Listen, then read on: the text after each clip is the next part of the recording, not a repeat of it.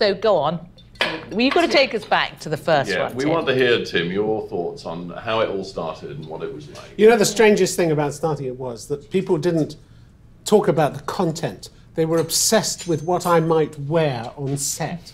And the ideas were so bizarre, ranging from a normal suit to a smoking jacket and fez at one particular point. But luckily, we got off that and we got onto the interviews. And we got away from the idea that if you were going to do a 25 minute interview, it wasn't just more of the same questions, it was going to have a different character.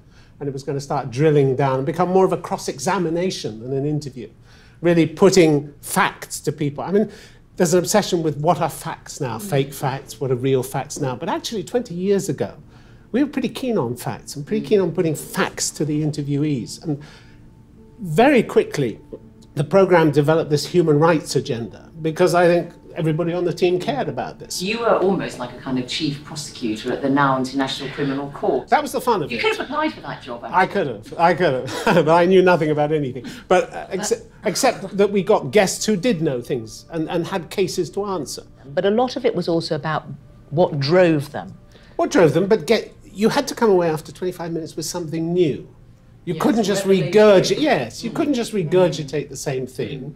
No, but I think that holding people to account, I still think that they are the best hard talks. I don't know what you think. And I've only got one I can really remember very vividly. I mean, there are others. There's Jean Pierre Bemba, who was vice president of the Democratic Republic of Congo at the time, and he now, uh, you know, went to the International Criminal Court and was duly found, you know, guilty of terrible human rights abuses. So I think that, for me, is the best kind of hard talk where you've got somebody who can really say, and he speaks French because he was educated in Belgium. When he didn't like the questions I asked, he'd say, I didn't understand what you were saying. Sorry, could you say it again? So it gave him time to think, you know. To me, what one of the best signals that what we do still matters is the feedback we get from our audience, particularly as you, you've talked about the human rights agenda. When we do those in, interviews with powerful people who are not, frankly, held to account in their own countries, we just get such a wave of positive feedback from our audience. Thinking of Meles Zenawi, the Prime Minister of Ethiopia, when I talked to him, and he was a very strong leader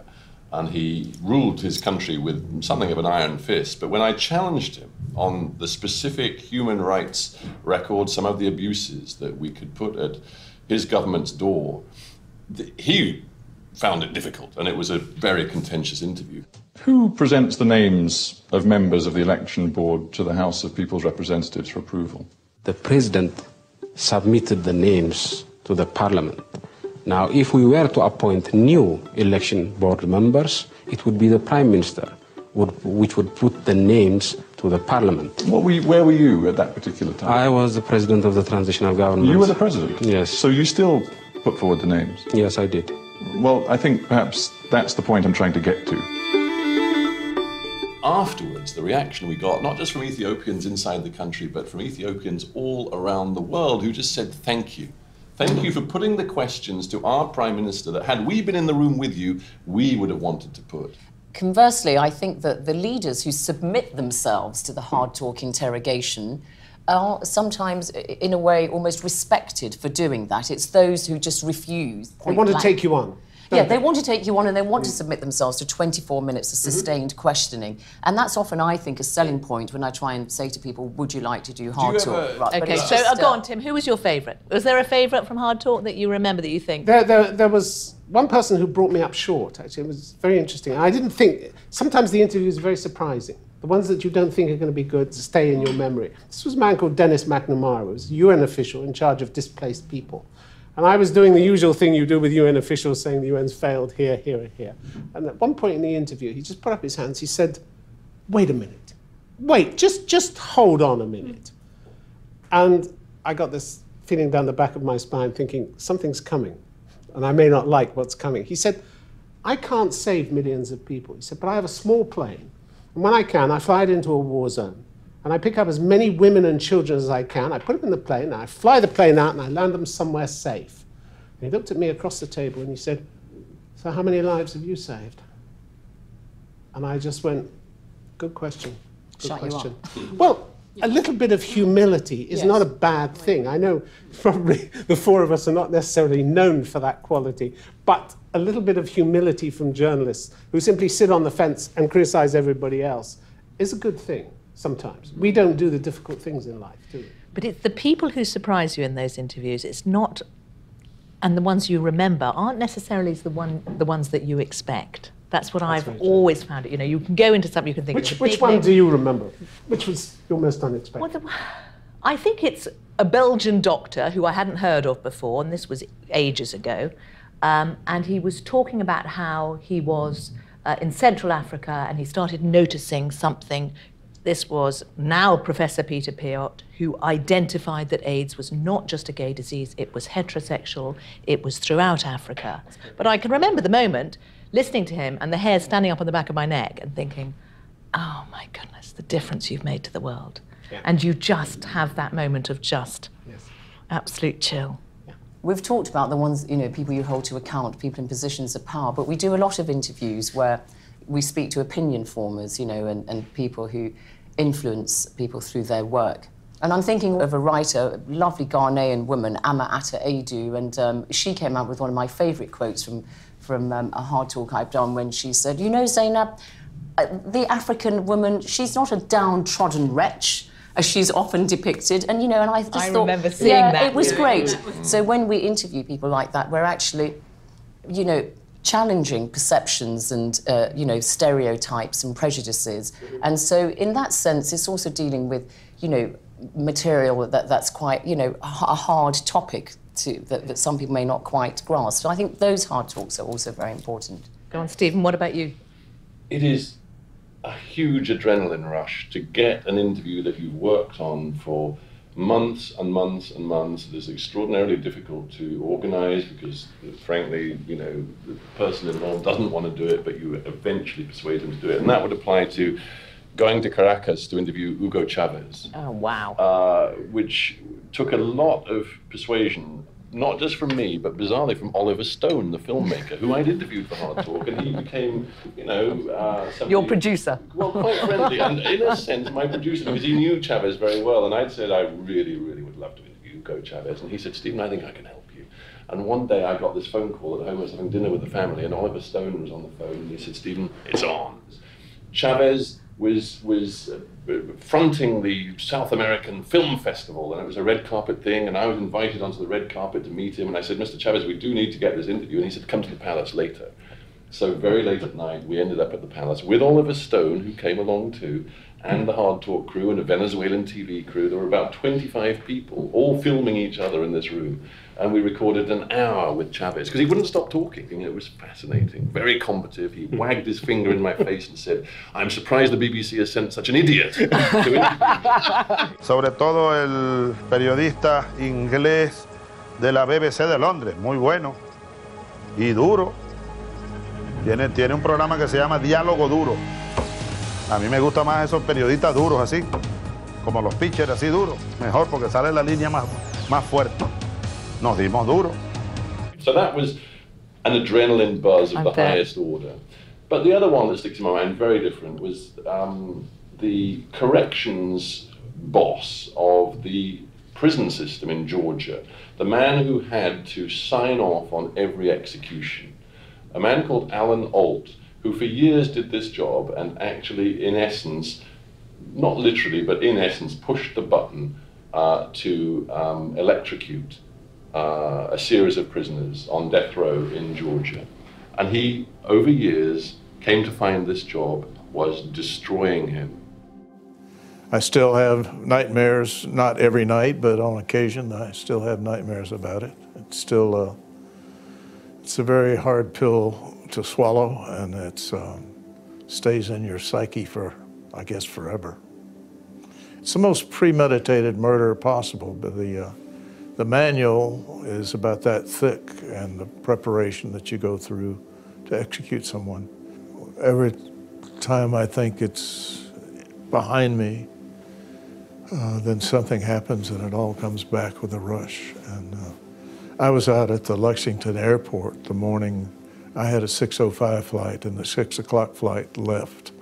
And by all rights, I'd always been on Delta Airlines. This morning, I was going someplace else and was on another airline, and uh, I checked in with all these people, and the plane crashed and killed everyone.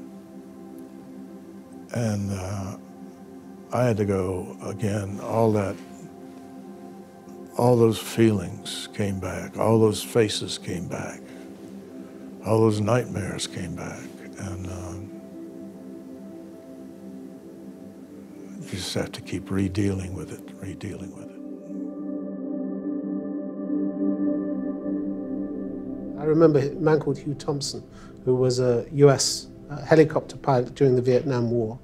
And in 1968, he was trying to divert Viet Cong fire uh, away from some of the American troops. He flew low over a clearing, and he saw something that stayed in his mind until he died. He saw the picture of American troops massacring villagers, unarmed villagers, in a little place called My Lai, which became known notoriously as, as the My Lai massacre. And he stopped it, he, he brought the helicopter down and he told his men to train the guns on their fellow American soldiers who were garroting, raping, shooting, and stabbing unarmed villagers, Vietnamese villagers. And he said, Unless you stop, I'm going to open fire and we will kill you all. And he stopped it. It took 30 years before anybody said thank you. But you were ostracized for a while, Yeah, weren't for a you? while. But You'd go into the officer's mess and Yeah. everybody would disappear. yeah, that's when it first broke, and people didn't know the facts, and they they they forgot all about it very soon after it happened. But personally, you paid a heavy price in terms of ah. depression, didn't you, over the years? A lot of nightmares No, that you went through. Mm-hmm. Four marriages. I don't. Well, there's there's been multiple marriages.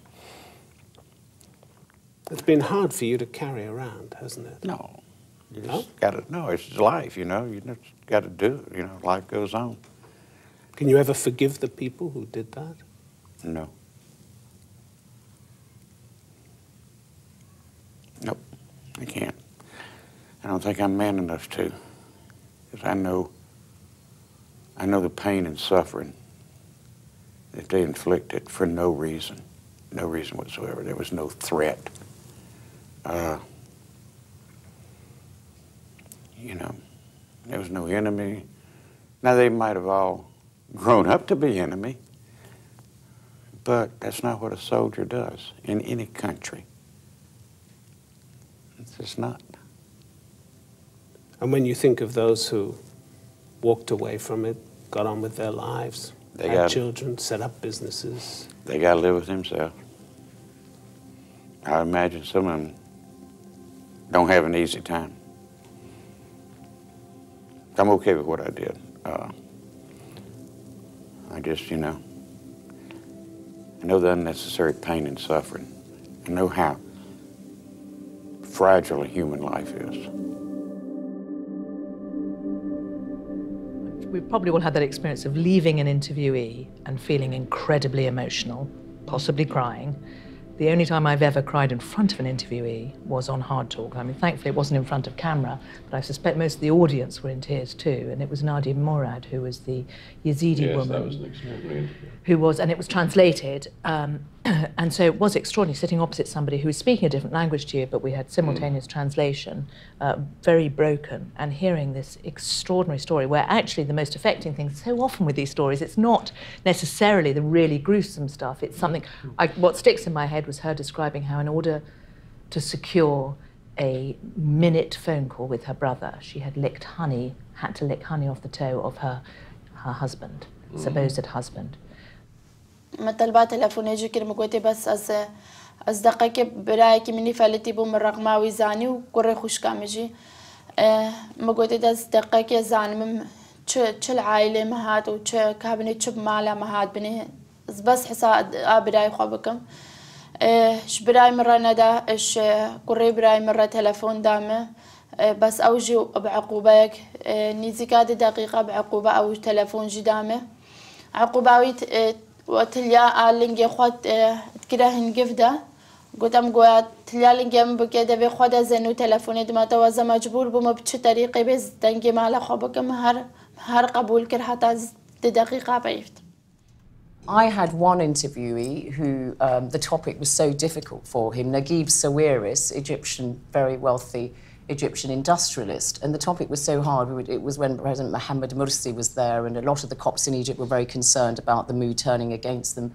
And um, he stopped the interview after 12 minutes because the top, you know, the topic was so difficult. It was life or death for him. You know, he'd received threats and his, worried about his family's safety. And we continued the interview, but it does show you, it's indicative of how difficult the subject matter is. One, uh, one thing that I've done, and I really appreciate the opportunity to do it, is take the show on the road because to reach some of these stories and some of these places as well, you know, it, not everybody can come to the Hard Talk studio in London. I can actually go on the road and do it myself. So the reportage becomes me gathering some of the information, some of the, the case, which we can then put, for example, in Honduras to, to uh, the president of the country after we've been to the city that has the highest homicide rate in the world, which is being crippled by gang, drugs, cartel warfare we could actually talk to the people who are suffering from that reality before going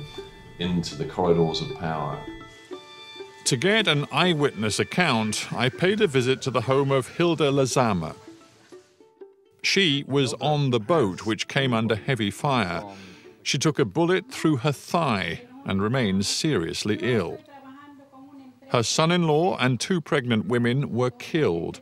Hilda insists all were innocent victims, not drugs traffickers, simply villagers coming back from a trip downriver.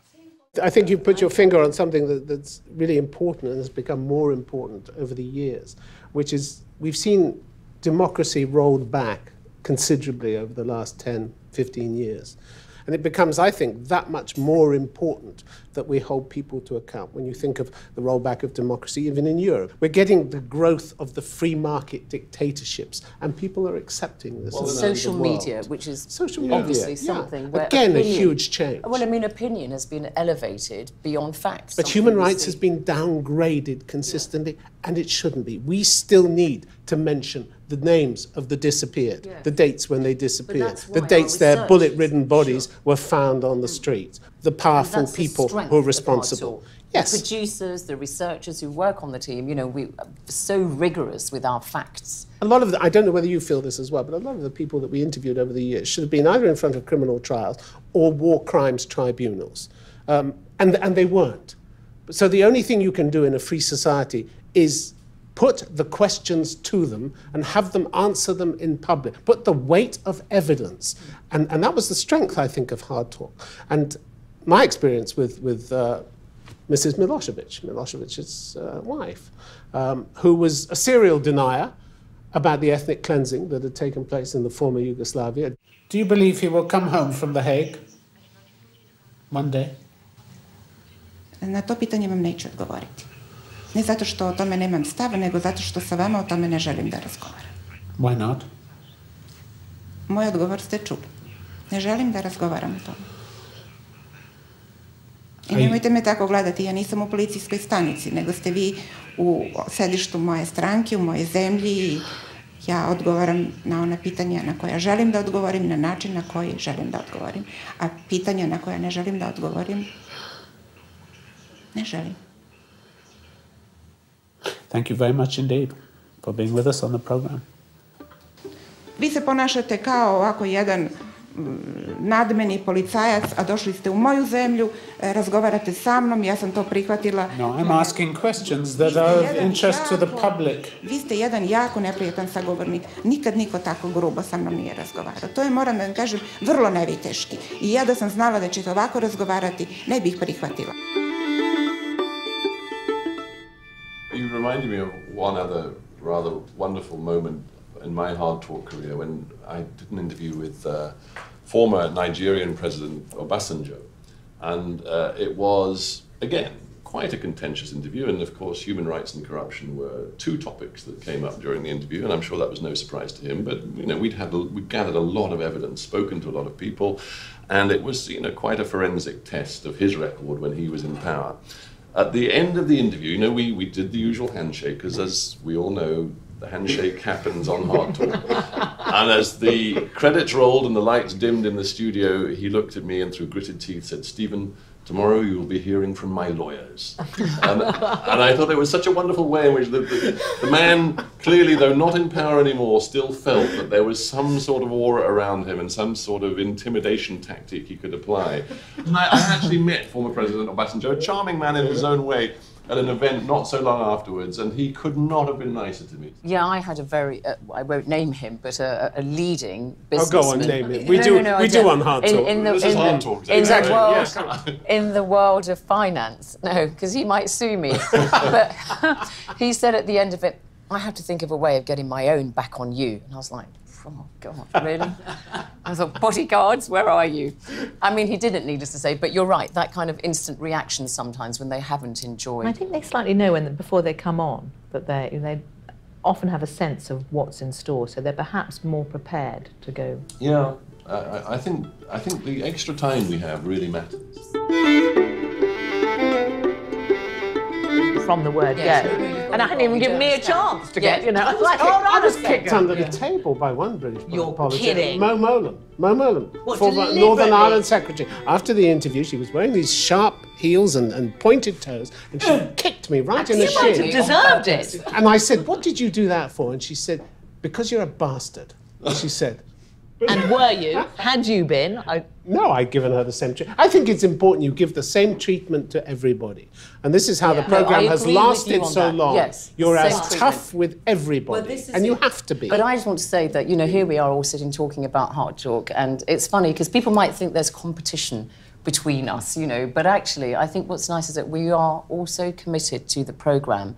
That anybody, uh, any one of us who's, you know, done a great Hard Talk, I always think, great, it's, you know, Oh, it's I think wonderful for the programme. It's a bond between us. It is. We- share something really. Oh, like really we've bonded over this meal, but in fact, I'm the only one who's been doing any eating. No, so I don't know what that tells to you. the Dig salami in. again. into the old BBC sausage roll. Times have, re- times have really moved on, haven't they? Times have really moved on.